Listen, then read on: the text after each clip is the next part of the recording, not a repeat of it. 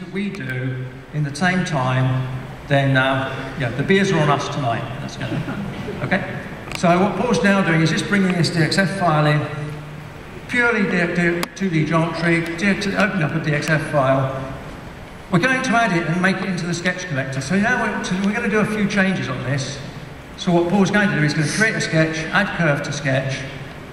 Anyone that want to have a guess about how many um, constraints this is going to need to solve it? I'll tell you in a couple of seconds. It needs 1,517 constraints to solve. Okay?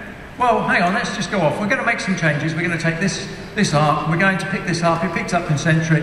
You'll notice that the lines all stayed. Tangent. We'll take that arc, we'll line that up with the arc centre of the other one. There we go. So we make that change.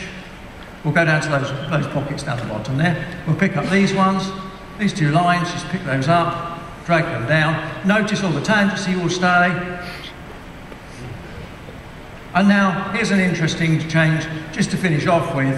How about we want to make this flange two millimeters or one millimeter thicker? So what we're going to do is take the inside loop of curves and offset it one millimeter. So there we go, we pick up that loop of curves with all of the tangencies, all of the trimming, all of the areas. And Paul's just offset it, and there you go. Job done. Anyone want to take on the challenge? Mm-hmm.